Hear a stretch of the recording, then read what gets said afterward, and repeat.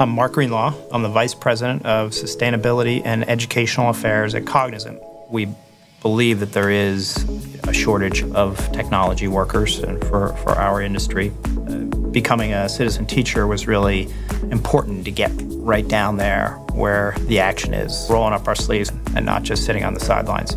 And the apprenticeship was called Techno Swag. There were sixth graders. Um, a di diverse set of backgrounds uh, from this neighborhood. I'm not a professional teacher. Matter of fact, this is the first time I had done something quite like this. Kids chose uh, an image, put that on an iron-on transfer. We ironed on a piece of fabric, and then they had to design a pattern of how of these LED lights and how they wanted it to, to light it. We use this device called a LilyPad Arduino. It's an open source microcontroller and then they use conductive thread to sew from each of the leads on the Arduino out to each of the leads on the LEDs. Then they had to program it.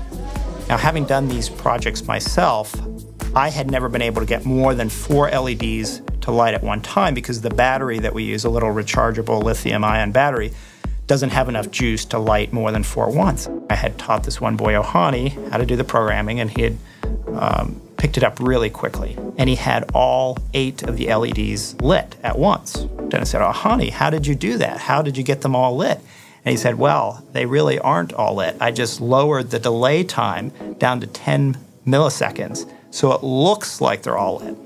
So what really impressed me was was that he figured that out that that was a way to kind of overcome that and actually taught me something. If you can go in and manage a group of 12, 15 or 20 sixth graders then I can tell you that you can probably do pretty well in managing a, a tough meeting with a client. Our employees feel that the opportunity to be a citizen teacher gives them meaning and purpose in what they do. I was really surprised at how much the kids kind of got inside my heart and my mind and kind of was all consuming.